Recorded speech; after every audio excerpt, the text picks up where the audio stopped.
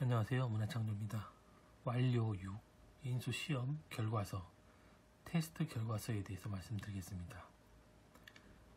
프로젝트 명이 있고요.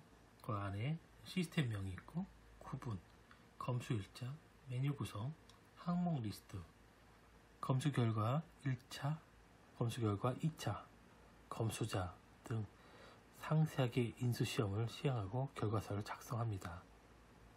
메뉴 구분이 대메뉴, 항목은 중소 메뉴로 구분하여 정리합니다. 결과서를 잘 작성해야 또 피드백도 할 수 있고요. 그 테스트에 대한 부분이죠.